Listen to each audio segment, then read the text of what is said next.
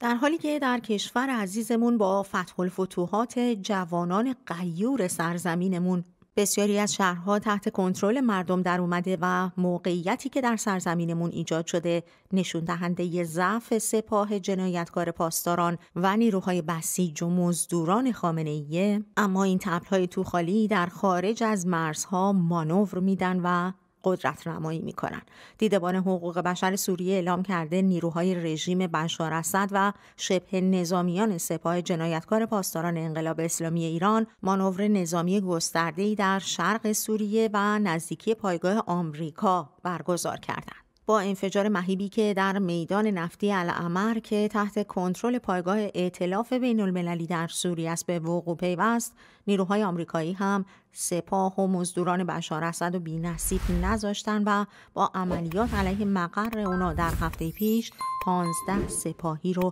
به درک حاصل کردند. حالا این نیروها تمرین های مشترک شبانهشون رو با سلاح های سنگین انجام میدن تا توانایی هاشون رو بالا ببرن. نیروهای ائتلاف بین المللی علیه جاعش به رهبری آمریکا در ماه مارس 6 سال گذشته کنترل پایگاهی را در نزدیکی مرز عراق و اردن به دست گرفتند. در اوایل ماه جاری میلادی هم منابع آگاه به دیدبان حقوق بشر سوریه اطلاع دادن. افسران روسی نیروهای سپاه مزدور پاسداران و شبه نظامیان افغانستانی معروف به فاطمیون در شرق شهر پالمیرا در شرق سوریه مستقر شدند. حدود یک ماه قبل از اون هم فعالان دیدبان حقوق بشر سوریه از انفجارهای مهیبی در منطقه پالمیرا به دلیل تمرینات نظامی نیروهای تحت حمایت جمهوری اسلامی دیکتاتور و حزب الله در پایگاه هوایی نظامی پالمیرا. خبر دادند. این منطقه از سوریه تا الان بارها صحنه درگیری نیروهای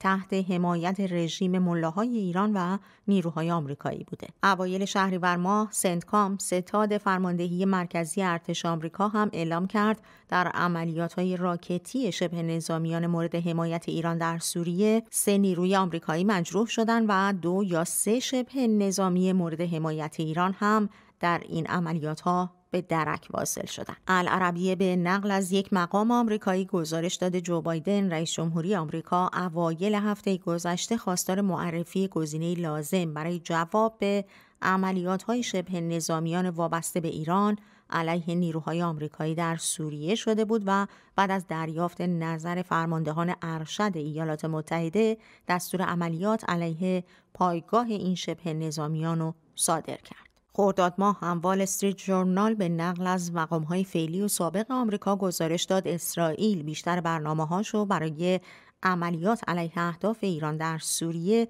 به صورت مخفیانه با ایالات متحده هماهنگ می‌کنه و آمریکا عمدتا عملیات اسرائیل در شرق سوریه و در نزدیکی پایگاه التنف بررسی می‌کنه. در حالی که طبق شواهد رژیم پلید و دیکتاتور و جنایتکار جمهوری اسلامی جمع زیادی از نظامیانش رو برای شرکت در عملیات زمینی مشترک با ارتش سوریه علیه مخالفان رژیم بشار اسد اعزام کرده مقامات مزدور تهران با این ادعا که هیچ نیروی رزمی در سوریه ندارن و تنها مستشاران نظامی متخصص در امور مبارزه با ضد حقوق بشران به درخواست دولت سوریه در این کشورند خبرها در این مورد رو تکذیب کردند. این در حالیه که چندین خبرگزاری از جمله رویترز یا روس اسپوتنیک این خبر رو تایید کرده و همزمان گزارش های روزانه حاکی از به درک واصل شدن مداوم پرسنل سپاه جنایتکار پاسداران در جبهه های مختلف سوریه است.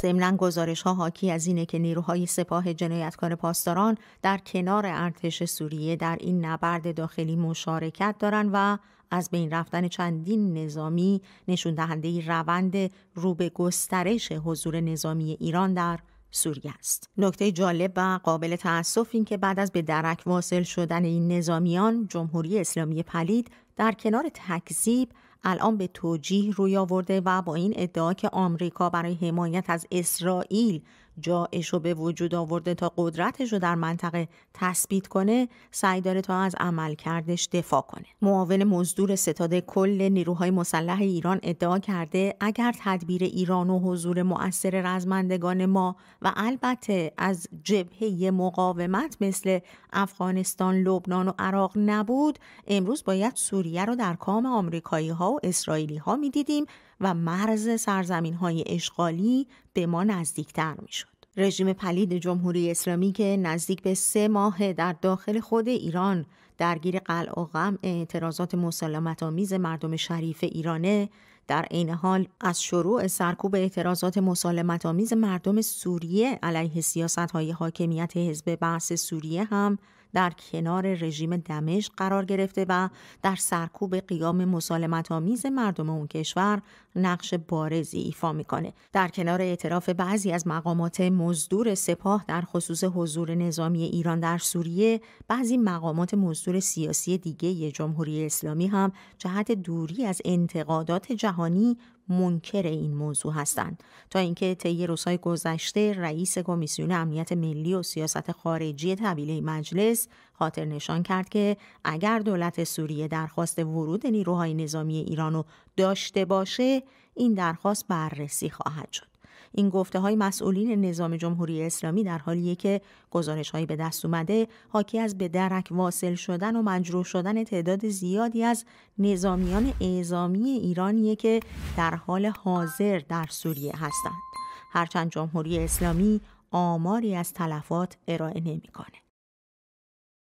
به دنبال عملیات تازه سپاه جنایتکار پاسداران و ترکیه به مناطقی از اقلیم کردستان هم عراق اعلام کرده در صدد دوباره نیروهای مرزبانی دولت فدرال و در امتداد مرزهای ایران و ترکیه مستقر کنه. خبرگزاری فرانسه گزارش داده. به نظر می‌رسه اعلام چنین برنامه ای از طرف دولت عراق جوابی به درخواست ایران برای استقرار نیروهای عراقی باشه. در بیانیه‌ای که بعد از نشست شورای امنیت ملی عراق به ریاست محمد شیا السودانی نخست وزیر منتشر شد اومده مقامات تصمیم گرفتن طرح استقرار مجدد نیروهای مرزبانی عراق در امتداد مرز با ایران و ترکیه رو اجرا کنند. این بیانیه تصریح کرده این طرح با هماهنگی دولت اقلیم کردستان و نیروهای پیشمرگ اجرا میشه همزمان با از سرگیری عملیات های موشکی و پهبادی سپاه جنایتکار پاسداران علیه خاک اقلیم کردستان عراق